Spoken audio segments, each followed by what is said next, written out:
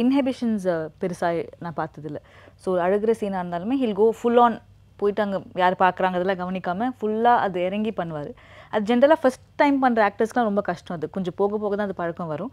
But அதெல்லாம் ரொம்ப அழகாகவே சர்வ் பண்ணார். இந்த சீன் அந்த கால் மடக்கிக்கிட்டு எவ்வளோ தூரம் பண்ண முடியுமோ he will do it so அது ரொம்ப பிடிச்சது as அன் ஆக்டர் டிரெக்டர் வந்துட்டு அவர் கதை சொல்கிற விதம் ரொம்ப அவருக்கு பெரிய ப்ளஸ் ஆக்சுவலாக ஸோ ஒரு விஷயம் ஒரு வாட்டி சொன்னார்னா அது ரொம்ப அழகாக உள்வாங்கிக்கலாம். ஸோ அந்த அளவுக்கு ரொம்ப அழகாக சொல்வார்.